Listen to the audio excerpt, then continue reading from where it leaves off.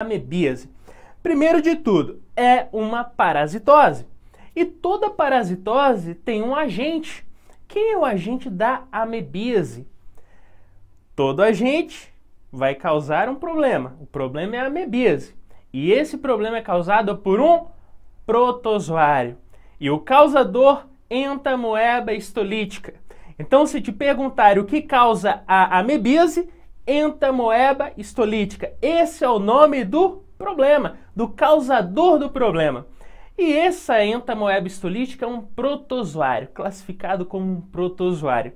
Lembrando que essa amebíase ela é bem comum. Para você ter uma ideia, é claro, é bom saber um pouquinho essa curiosidade. 500 milhões de pessoas são cometidas por ano com essa amebíase. Então veja como é comum. E na verdade pode ter muito mais. Como assim pode ter muito mais?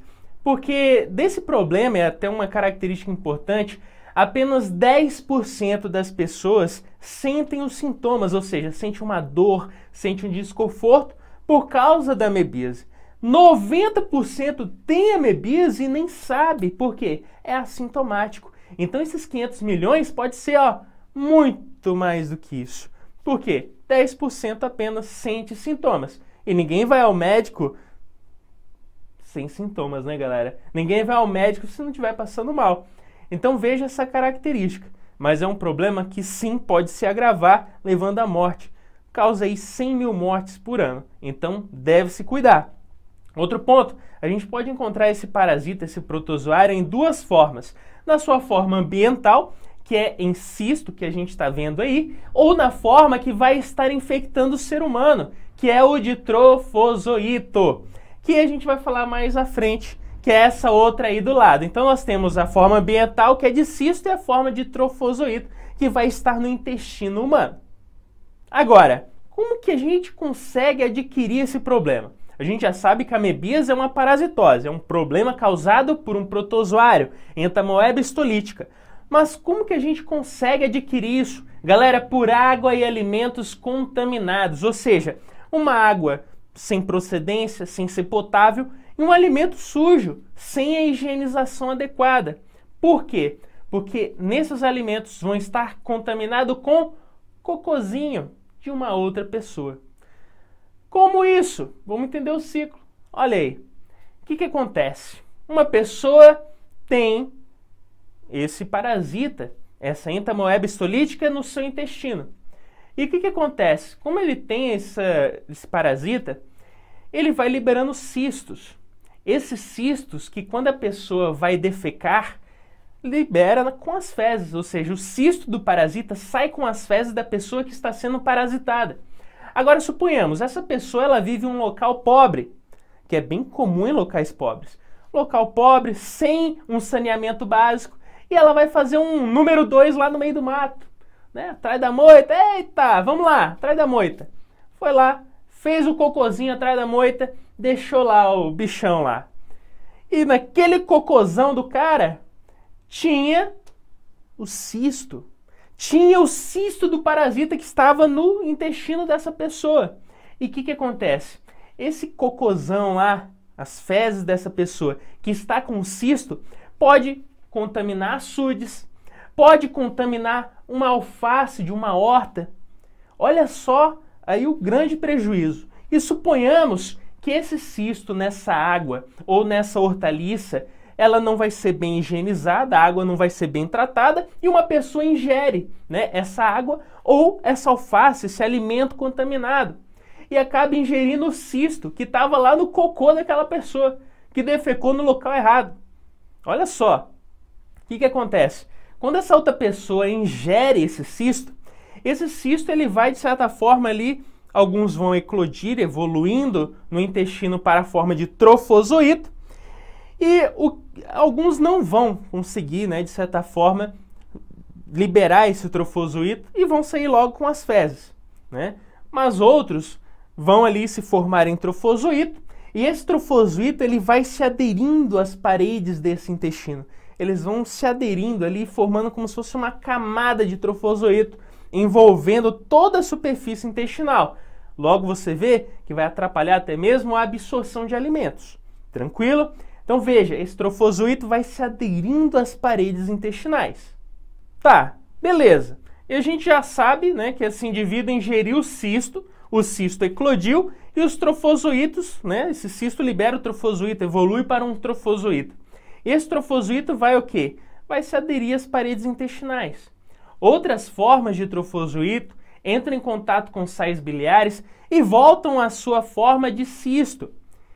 E claramente, quando essa pessoa que já está sendo parasitada agora for defecar, esse cisto sairá com suas fezes. E suponhamos que essa outra pessoa vai fazer o cocozinho em um local inadequado também, que pode contaminar outra água e outros alimentos. Então veja como o ciclo ele se fecha com ingestão de cisto, ou seja, com cocô de outra pessoa. Olha aí, a falta de saneamento básico. Veja a importância. O ciclo se fecha na falta de higiene e saneamento básico, que é muito comum em países subdesenvolvidos ou em desenvolvimento, como é o Brasil. Tranquilo? Então guarda essa informação. O ciclo se fecha na falta de higiene e na falta de saneamento básico. Cobre o seu prefeito. Beleza? Já deixando uma indireta aí nas eleições. Agora, além da gente falar do ciclo que a gente entendeu, né? Ingeriu o ovo, né? ou melhor, o cisto. Ingeriu esse cisto, esse cisto eclodiu, libera trofozoito. Outros vão sair como forma de cisto nas fezes do indivíduo e outra pessoa pode ingerir esse cisto. Beleza. Agora, a gente tem que saber os sintomas. O que, que vai acontecer? Lembrando que apenas 10% das pessoas com amebíase sabe que tem amebíase. E por que, que ela sabe? Porque ela sente sintomas, sente um mal-estar. E 90% nem sabe que tem. Olha só, né? Quantas pessoas não deve ter aí no mundo com amebíase e nem sabe que tem ela. E aí tá o problema, né? Que ela tem amebíase, tá lá no intestino, não trata e tá toda hora liberando cisto com suas fezes. Então veja como deve ter gente com amebise aí nesse mundão. Beleza? Agora, e os sintomas? Os sintomas eles podem ser desde intestinais a extraintestinais. Vamos entender isso agora. Bom, para a gente entender isso, os sintomas que são intestinais e extraintestinais, os intestinais a gente pode, né, de certa forma, associar com o ciclo. Lembra que a gente falou que o cisto ele libera ou evolui para o trofozoito? E esse trofosito ele vai fazer o quê? Se aderir a quê? Ali as paredes intestinais. E ao se aderir às paredes intestinais, ele vai le causar lesões nessa parede intestinal. Vai le lesionar ali, vai causar problema. Bom, a gente pode encontrar nesse indivíduo sintomas como diarreia, e essa diarreia pode ser com sangue e muco. Por quê? Porque o trofosito está levando né, irritação, está causando lesões na parede intestinal. Então veja a importância de saber isso. Outro ponto: febre, mal-estar, perda de peso. Por quê? Porque se o nosso intestino tem a função de absorver alimentos, né, nutrientes, se tem trofozoito toda, em toda a camada intestinal, ele vai atrapalhar essa absorção. Então a pessoa perde peso, fica desnutrida. Veja a importância disso também. Então nós temos as formas intestinais. Agora nós podemos ter extraintestinais. E como que seria isso? Se esse parasita, é até bom a gente destacar, se ele perfura o intestino, se ele causa uma inflamação, isso pode gerar uma peritonite. Pode acontecer também. Agora, a extraintestinal é quando esse trofozoito, esse parasita, ele alcança a corrente sanguínea. Se ele alcança a corrente sanguínea é um grande problema, por quê? Porque ele migra para outros órgãos, principalmente para fígado e pulmão, mas principalmente o pulmão. E aí o que, que ele causa? Pode causar grandes problemas ali, abscessos nesse nosso fígado, né? abscessos hepáticos, problemas inflama inflamatórios, febre, mal-estar. Pode levar até mesmo, galera, a gente pode destacar aí né, no diagnóstico aquela é, sinal de Torres-Home, onde ao palpar a região ali onde está o fígado, o paciente não aguenta de tanta dor. Então, o que, que pode acontecer? Abscessos, né? Que levaria lesões nesse fígado, lesões hepáticas. Além disso, da dor na região do hipocôndrio direito, que a gente fala aí, né, que é a região mais superior desse quadrante abdominal, é onde o paciente mais vai sentir dor, porque é ali que fica a região né, mais presente ou proeminente do nosso fígado.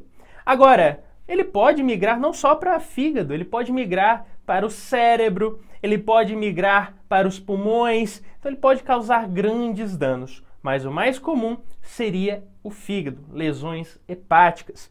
Outro ponto, ele pode causar o ameboma. O que, que é isso? Seria como se fosse uma massa, um granuloma ali. Às vezes, por um exame, né, a pessoa acha que é um tumor, né, algo ali é, que seria uma neoplasia de intestino desse paciente. E às vezes você vai fazer um exame mais específico e acaba descobrindo que nada mais é do que esse parasita que formou esse granuloma, esse ameboma ali nessa região. Tranquilo? É claro que é um alívio para o paciente. Entre um parasita, uma parasitose e uma neoplasia, o que, que você acha que é melhor? Melhor ter um parasita, que você pode eliminar ele. Tranquilo, mas isso não é regra, tá? Isso é uma exceção, é raro isso acontecer. Mas pode acontecer, beleza? Então é bom destacar aqui. E o diagnóstico, como que a gente pode fazer? Adivinha? Se esse parasita está no intestino, a gente pode ver um exame de fezes. Por quê? Porque toda vez que a pessoa defeca, libera cisto do parasita. Então, eu vejo uma análise dessas fezes, com microscopia consigo ver o cisto e chegar a um diagnóstico. Mas também posso fazer outros tipos. Por exemplo, colonoscopia? Posso fazer. Por meio da colonoscopia, aquele exame de imagem onde a gente coloca uma câmerazinha ali na região anal, né? Vai vendo ali toda a região intestinal, principalmente do cólon, né? a gente consegue também fazer um diagnóstico. Mas também sorologia, PCR, pode ser uma opção, mas o mais comum é exame de fezes. E o tratamento, né, que é um dos principais aí que a gente tem que destacar.